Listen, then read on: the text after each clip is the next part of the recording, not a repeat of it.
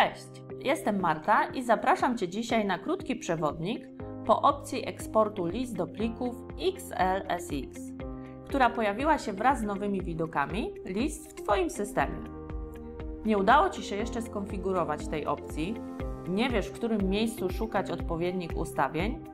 Bez obaw, przeprowadzę Cię dzisiaj przez cały proces i opowiem o tym, dlaczego warto korzystać z tej możliwości. Czas start.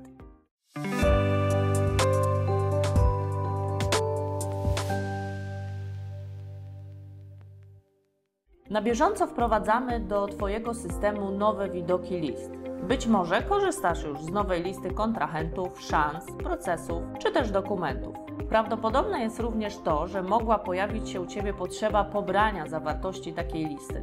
Wchodząc na interesującą Cię listę, możesz nie dostrzegać takiej możliwości. A wszystko dlatego, że naszym celem było jak najlepsze zabezpieczenie Twoich danych.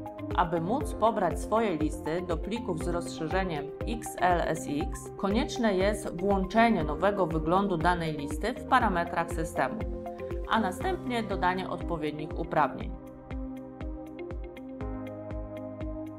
W tym celu przechodzimy do zarządzania uprawnieniami w ustawieniach.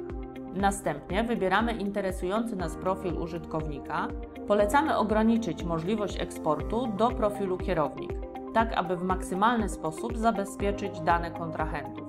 W dalszej kolejności musimy przejść do odpowiedniej zakładki, do której przypisana jest dana lista. W naszym przypadku będzie to lista kontrahentów przypisana do zakładki kontrahenci. Wyszukujemy ustawienia Export XLSX, nadajemy mu uprawnienia i gotowe.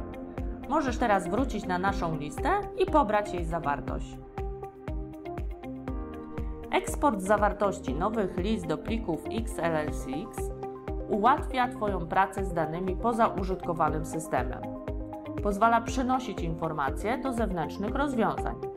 Przyczynia się do zabezpieczania danych. Sprawia możliwość wykonywania samodzielnych kopii zapasowych poza systemem.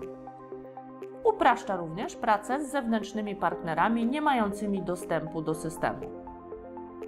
Mam nadzieję, że teraz wiesz już dlaczego i jak warto włączyć opcję eksportu nowych list do plików XLSX. Poświęć wolnej chwili czas na konfigurację i ciesz się nową możliwością. Masz pytania, potrzebujesz wsparcia, a może w Twojej głowie pojawiły się pomysły rozwojowe systemu? Skontaktuj się z nami, chętnie doradzimy.